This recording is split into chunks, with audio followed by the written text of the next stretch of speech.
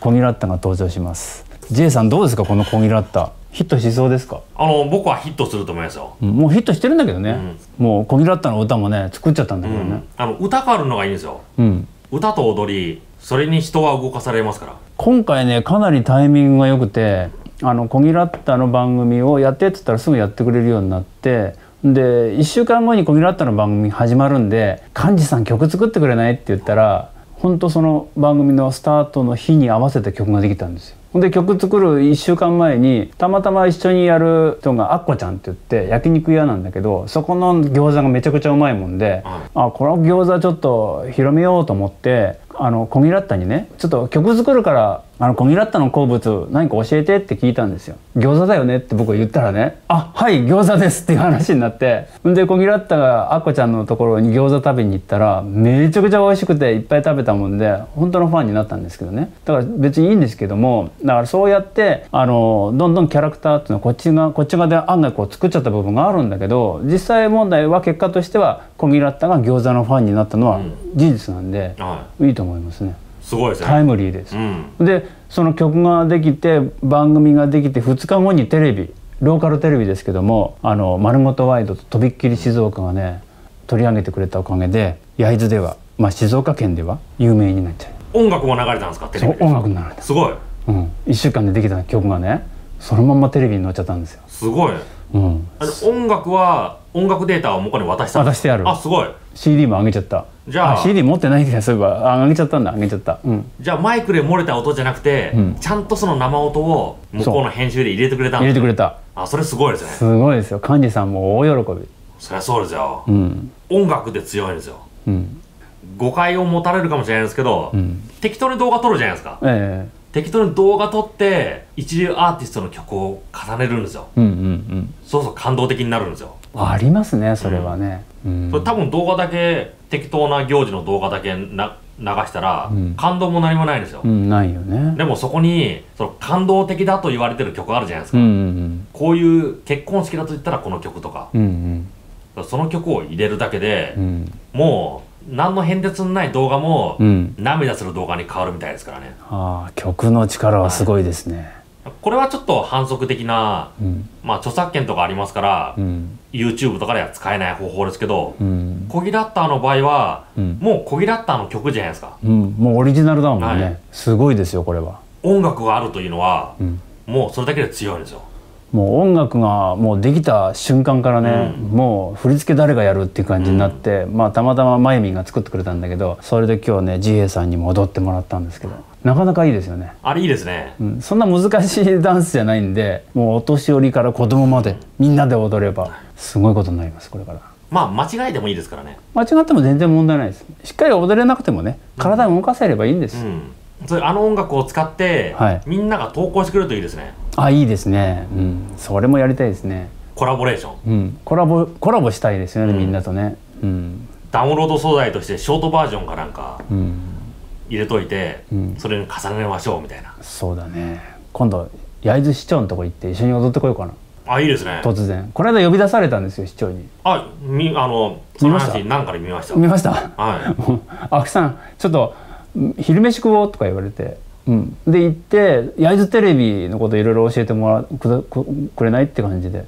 いお青木さんなんかいいことやってるねって。焼津市として応援したいから、うん、どんな応援の仕方があるのかなっつって言ってくれたもんでああこれは強い味方が現れたなみたいな感じ。で、応援と言ったら、うん。もっと立地条件のいいところにうん、固定スタジオが欲しいですよね。そうそうそれでみみんなで、ね、できるようなスタジオがあって、うん。みんなでこうギャラリーみたいにねいつも毎日こう楽しめるようなところが焼津の駅前とかにあったらすごいいいですよね。お金もらうっていうよりも、どまあ、そういうお金に頼っちゃうと結局ビジネスとかそういう事業ってね失敗するんですよ大体。あ人からのお金だと。うんだからそれを当てにしちゃうじゃないですか。あ当てにするんじゃなくてみんなが集まれるようなところに人を呼ぶ手段が今ここでできてるわけじゃないですか。はい。だからそれをもうちょっと広い場所で誰でもいつでもみんな集まれるようなことにしてあげてであの番組をやりたい発信したい人は自由に発信して見たい人は自由に見に来れるってそういうたったそれだけですよ。あのそういうのをただでただ貸してくれるだけでいいもんで、ですよね。うん、それだけでいいですよ、うん。うん、結構家賃や家賃って結構大変なんで。っていうかこういうお店やってるとね、はい。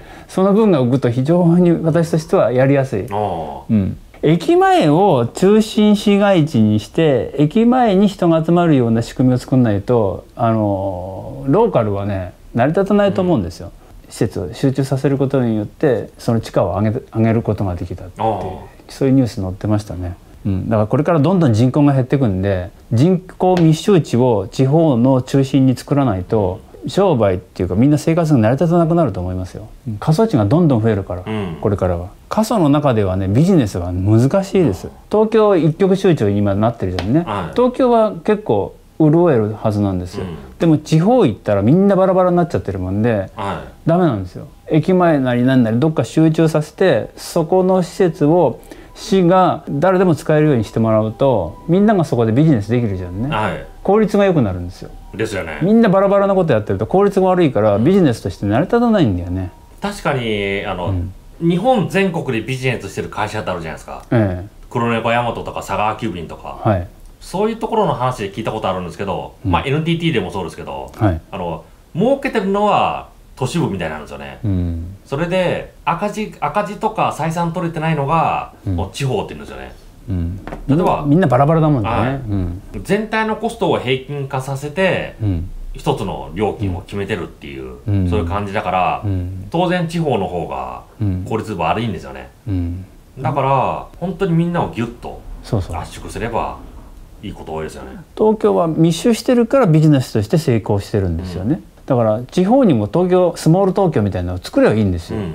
そうしたら俺いいと思うんだよね。地方がねみんなねバラバラバラバラしちゃってるもんで悪いんだよね、だからそれを成功させるためにはそのさっき言ったその成功してるところに学んで、はい。そういう部分。市全体でやるとすればどこが効率的かっつったら公共交通機関がある駅の前とかそこに公園なりなんなり施設を作ってそこにお金をかけずにお客さんを集められるような仕組みを作れば僕はスモール東京をあの地方にも作ってうん。効率化がビジネスの効率化ができると思ってます。なんかあ選選挙運動みたいなやつなんなんか選挙運動みたいですよね。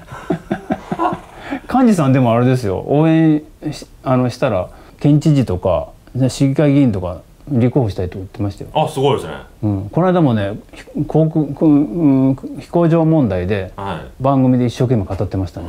うん。ただあの政治的な人の応援するときは、うん。まあいろいろしがらみがあるみたいですから、うん。そこら辺ちゃんと気をつけた方がいいですよ。あああの選挙活動とか。うん。あのこっちが PR のつもりで、うん。なんか動画作るだけで、うん、ダメって場合もあるんですよ、あそうなんですか？はい、選挙活動って言ったら、うん。いわゆるあの車乗って白手袋をはめてるような人うん。その人だけの話みたいじゃないですか。えでも実際選挙活動っていうのは誰でもできる活動なんですよ。えうんうん。それで選挙期間中以外は選挙活動ダメってルールがあるんですよ。うんうん。それってのは全員なんですよ。うん。だからある人が立候補する。うん。その時にあ立候補するんだから選挙期間外だけどうん。ここに出て喋ってもらおうか、うん。一票清き一票お願いしますってことをうん。言,、い言ってもらおうかってうん。思うじゃないですか。うん。でもそれをやっちゃうと選挙法にアウトなんですよ。選挙活動ってのはうん。全ての人がその決められた選挙期間内しかやっちゃいけないんですよ。でもそんなのみんな知らないんですよね。知らないね。だからもっとあの小規模な話でうん。あの僕の親がうんどっか立候補する。うん。そうなれば入れてほしいじゃないですか。うん。その時にまだ選挙期間じゃないのに、うん。あうちの親が立候補するから入れてねっていう話をしたらアウトです、へえはい、その話ができるのはうん。選挙期間内なんですよ。あそうなんだ。定められた。へえなんかややこしいね。はい。政治家の PR っていうのはうん。それが選挙活動なのかうん選挙活動じゃないのかって分ければいいんですけどうん。分けれない場合があるんですよね。うん。だからまあ怖ければこの選挙の前側はうん。もう PR するのはやめとくみたいな。うん。そういうところが必要なんですよね。自閉の動画解放軍登録お願いします。お願いします。すゆるキャラグランプリの投票もお願いします。小木ラッタです。小木ラッタはーい